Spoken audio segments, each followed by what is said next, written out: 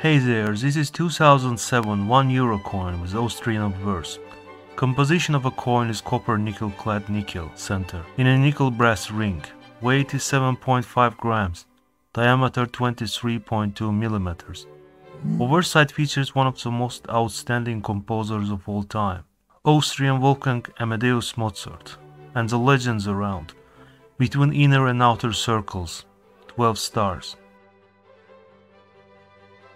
Edge has segmented reeding, thickness is 2.33 millimeters. Reverse have a standard European map design, displaying gathering of 15 states of EU. This 1 euro coin is at extremely fine condition, notwithstanding abraded surfaces of inner circle. Some bits of luster show up on the fields while tilts a coin. Contact marks and hairlines are mainly concentrated on the Mozart head. Also several notches are vividly seen on the cheeks. Reverse sides show quite abundance of abrasions all around the inner surfaces. Outer golden hued circle has also been tarnished over the years. Overall coin has a satisfactory eye appeal. Now let's check recent sales on eBay.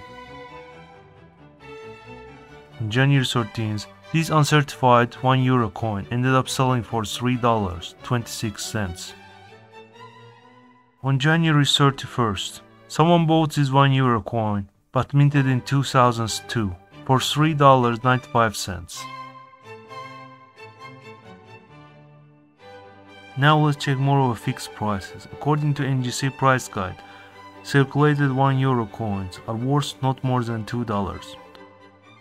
Price of coins at grade above MS63 are at least $2.50.